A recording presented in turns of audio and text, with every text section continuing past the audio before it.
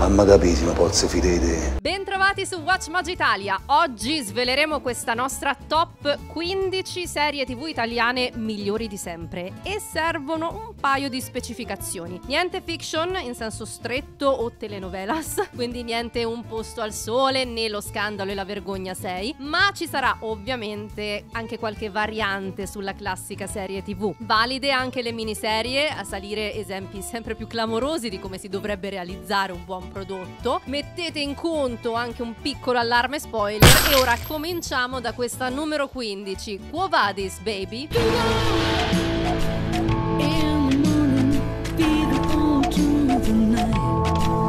Avete visto il film di Gabriele Salvatore? Ecco, questa serie ne riprende ogni tratto, ma lo espande in sei episodi anziché in due ore. Interessante la componente noir e l'ambientazione bolognese, topo scaro al giallo italiano degli anni 90. La serie è la prima di quel nuovo ciclo di produzioni Sky Catleya che possiamo dirlo, a fine anni 00 hanno rivoluzionato il settore televisivo. E così ti sei messo a fare la detective?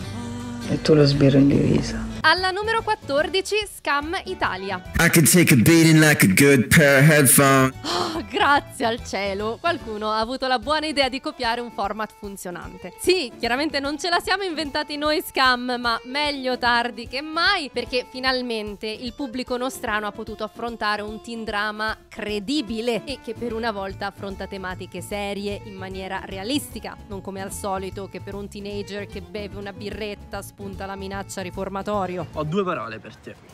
Quarti di finale. Alla numero 13, Mare Fuori.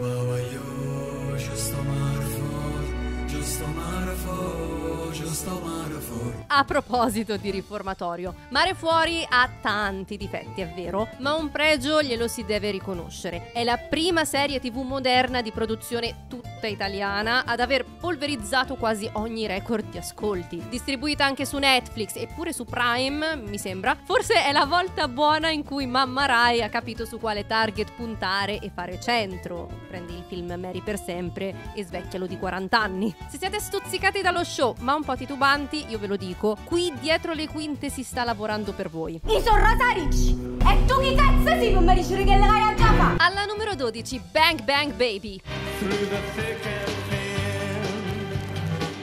Credo che serva un giusto endorsement a questo piccolo capolavoro made in Amazon, perché la serie è molto bella e sembra non averla vista nessuno. Cosa accadrebbe se una ragazzina innocente scoprisse di essere erede di un impero ndranghetista? Questa in soldoni è la sinossi, ora correte a vederla e poi recuperate quest'altra lista di qualche tempo fa. Non mi rompete un cazzo che io ora a sistemare tutti i cosi. Chiaro? Alla numero 11, il commissario Montalbano. Montalbano sono è meme, o almeno lo è stato, ma non solo dalle nostre parti. Questo serial, ispirato ai romanzi di Andrea Camilleri, pubblicati in 30 e passa lingue, ha dato alla televisione pubblica nostrana non solo un successo planetario, ma anche un suo avatar iconico, quel Luca Zingaretti alle prese con i crimini di tutti i giorni e non solo in un piccolo paesino della Sicilia. Più iconico di così poteva esserlo solo suonando il mandolino davanti a un vassoio di arancini o arancine, in questura. Con gli attributi virili di fuori, mi raccomando. Non mancherò! Buona giornata, dottor Pasquano! Alla numero 10, Odissea.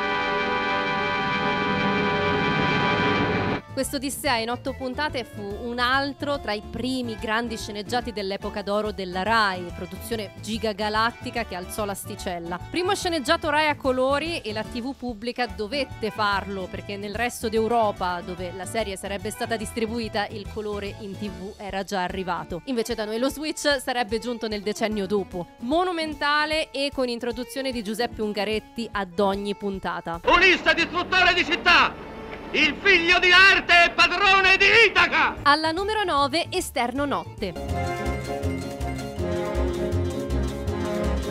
Questa è una cosa un po' strana perché di base è un bel e pesante film di Marco Bellocchio che racconta molto molto coralmente e con un cast pazzesco le vicende intorno al rapimento di Aldo Moro. Se avete visto Buongiorno Notte consideratelo un sequel spirituale. Il fatto è che dura tipo 6 ore, perciò eccolo distribuito in Rai come miniserie di 6 puntate. Vi ricordate la meglio gioventù? È una cosa del genere. 4 David di Donatello. Bellocchio è, come sempre, una garanzia. Chissà che è vivo che è stato liberato. Nessuno, neppure la famiglia.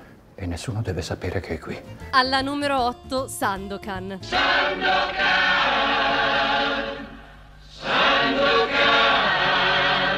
La fiction italiana per eccellenza, che ha davvero fatto scuola a livello di adattamento e messa in scena. Kabir Bedi è ovviamente la celebre tigre della Malesia di Emilio Salgari, che combatte contro gli inglesi del Raja Bianco James Brooke. La serie ha i suoi anni e quindi qualche acciacco, ma è imprescindibile se si parla di serialità in Italia. Sigla pazzesca, il regista è Sergio Sollima e questo cognome vi dovrebbe già suggerire qualcosa. Sandokan! Alla numero 7, l'amica geniale.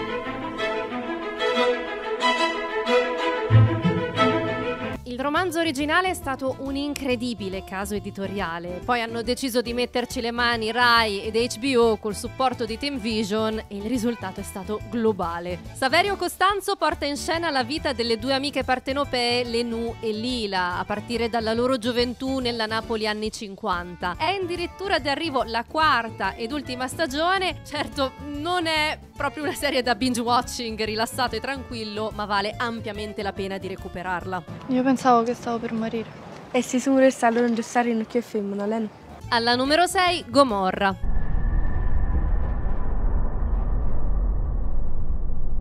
Tra i prodotti italiani più conosciuti al mondo, anche grazie forse all'appeal catchy del napoletano, Gomorra è un'altra di quelle grandi elucubrazioni sugli universi criminali preesistenti, tipo Quo Vadis Baby, che prima c'era il film e poi appunto hanno sviluppato il serial. Non credo di dover dire altro. Ispirata al libro di Saviano e al film di Garrone, ci ripigliamo tutte kill e nostre, de fritture, eccetera, eccetera, eccetera. So che ho rovinato la lingua napoletana con questa frase, scusate.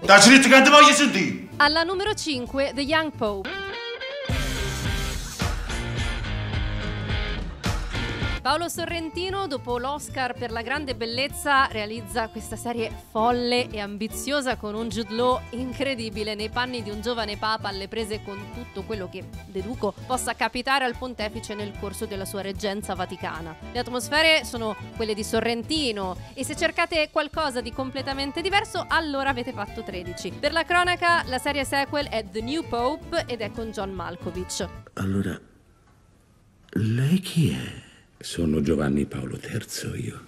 Se anche voi volete vedere una nuova serie late show dal titolo improbabile e con una trama bellissima, beh, eh, sarebbe il caso di iniziare a iscrivervi a questo canale e cliccare la campanella degli avvisi. Ma proseguiamo su attimi itinerari con alla numero 4 strappare lungo i bordi. Qui sembra tutto giusto, tutto giusto, Mi sto allungando troppo e qui c'è poco da dire. Se non avete dato uno sguardo alla serie di Zero Calcare su Netflix, eh, o almeno alla prima delle due, che è questa qua, avete decisamente qualcosa da recuperare. E non dico altro. E la scusa del romanaccio che è difficile non vale. Conosco gente di Montpellier che se l'è guardata sottotitolata, non capendo metà delle cose, ma rimanendo piacevolmente colpita lo stesso. Quindi fatevi un regalo con questo racconto di umanità e poi andiamo a pigliare un gelato. Vorrei ribattere, ma mi sento privato del mio inalienabile diritto alla lagna. Alla numero 3, Boris.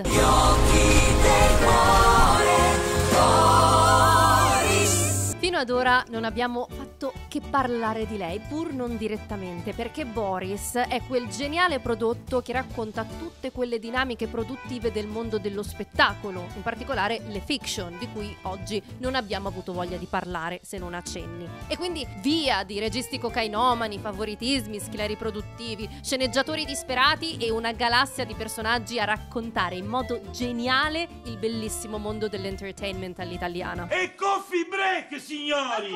Stai zitta! Alla numero 2, La Piovra. Prima di Gomorra e di tutto il resto del mondo crime-tainment, c'è stata lei. L'originale creatura criminale di Mamma Rai con protagonista Michele Placido, 10 stagioni sparse in 16 anni che raccontano con nomi e luoghi inventati molte storie di mafia del nostro paese. È un prodotto Rai anni 80 di base e oggi risulta un po' datato come messa in scena, però se il mondo delle fiction crime italiche, dalla migliore allo scandalo e la vergogna 6 vi piace, qui avete di che studiare. Nessuno oserà opporsi alla nostra richiesta di nuove leggi. E prima di svelare la nostra numero uno, ecco alcune menzioni onorevoli. Rocco Schiavone. Se invece vi dico, Deruta lavora al panificio della moglie, sti oh. Questo mondo non mi renderà cattivo. Ma non so io. Anzi, io manco ho visto perché cercavo soltanto le regge botta. Eneide. E anch'io, per quanto mi sforzassi di capire il segreto di quel dono lasciato dai greci, non compresi. The Bad Guy.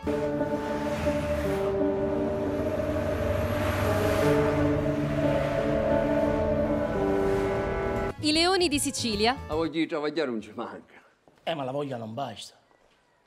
Qui siete a Palermo e non è posto per morte di fame. Diavoli. Stare accanto a lui costa sacrifici. Dovresti saperlo meglio di chiunque. Il miracolo. Se è arrivata a te in questo momento è perché tu hai un compito. Gesù di Nazareth. Benedetto colui che viene nel nome del Signore. Perché io e il Padre mio siamo una e una cosa sola. E alla numero uno, romanzo criminale. Suo padre ridefinì la serialità negli anni 70. Lui, Stefano Sollima, lo ha fatto nel 2008 insieme a Sky e Catleya, che non so mai come si pronuncia, con questa rielaborazione del romanzo criminale scritto da Giancarlo De Cataldo e già portato al cinema. Il risultato è qualcosa che non si era mai visto e senza il quale tutti i supertitoli di Sky odierni, che ne so, Blocco 131, Suburra e anche Gomorra, praticamente non esisterebbero. Fotografia, musiche, scrittura dei personaggi, sceneggiatura, dialetto. Qui ci sono tutte le basi della serie contemporanea, quindi un vero e proprio canone di estetica televisiva italiana. Io stavo con l'Ibanese! Stavo! Allora, ci sono un po' di serie che dovete recuperare? Siete super sul pezzo? Ce ne sono altre che secondo voi avrebbero dovuto comparire in questa lista? Fatecelo sapere nei commenti e state pronti perché ci sono un po' di titoli interessanti, così li ho sbirciati e carini, belli, mi ispirano.